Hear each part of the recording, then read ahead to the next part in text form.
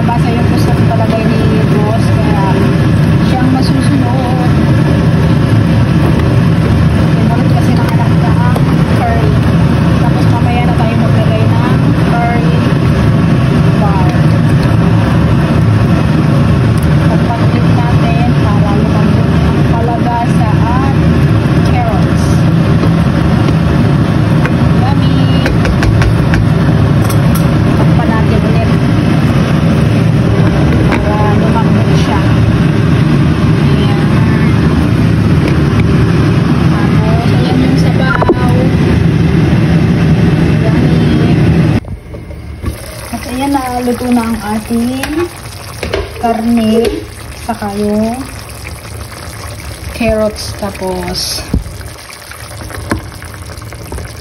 ayan, kalabasa. Nilagay na natin ang curry bar. Ayan.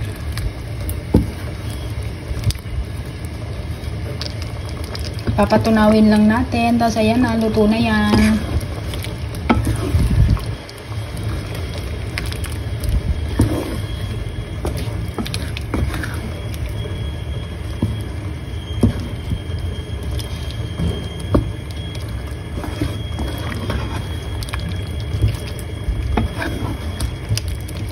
Yummy. Ganyan lang yung gusto nila. Maarte masyado yung ano eh. Anak nila boss pagdating sa curry. Mm.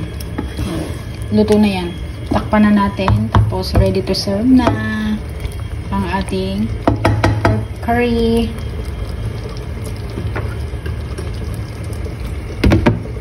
Yun. Yun na ang pork curry. Napakalapot ng sabaw. Let's eat to.